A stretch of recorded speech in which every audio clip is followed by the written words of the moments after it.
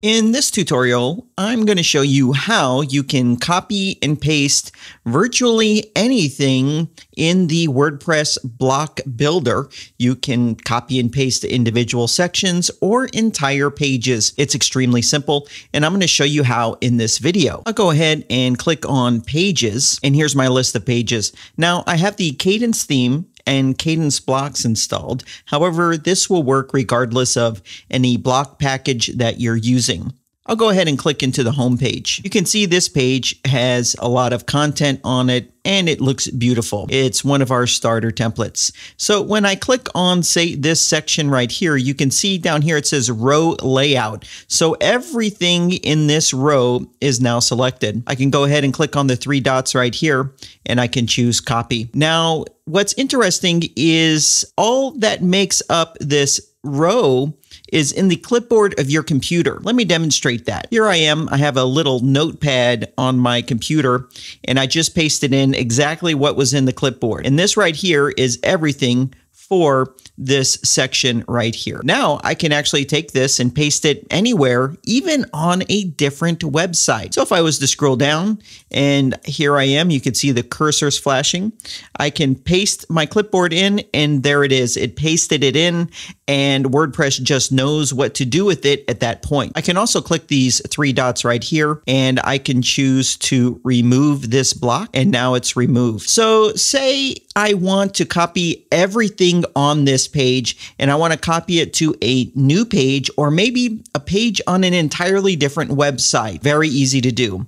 So I've clicked in here and I'm going to do the select all command on my computer. So if it's Windows, it would be the Windows key and then A will select everything.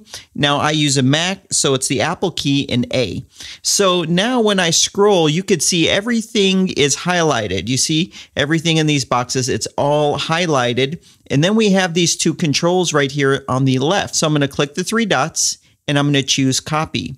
And now everything is also copied in my clipboard. I literally can paste this into an entirely different website if I wanted. So with this in my clipboard, I'll go ahead and I'll click on the WordPress icon. I'm going to leave. I don't need to save my page. I'll click on add new and we're going to go ahead and create a new page.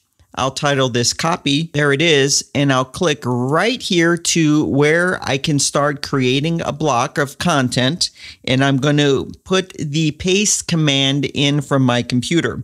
So for me, it's the Apple key and then V. So I'm going to do that. And if you're on a PC, it's going to be the Windows key, or no, it's going to be Control V. Sorry, I might have uh, messed that up earlier. Control A on a PC to select everything, Control C to copy everything, and then Control V to paste everything. And there you have it. So I just pasted it in, I put me at the bottom, and here you can see all of the contents from that other page has easily been copied and pasted over. And like I said, you can do this on an entirely different website because the way WordPress does is it is it puts everything inside of your clipboard. And that's all there is to copying and pasting individual sections, blocks, or all of the content on your entire page. And you can even move it to other domain names. Now, if you're not a Kadence theme user, we'd love to have you try it out. There's a link in the description box down below. It's the most full featured free WordPress theme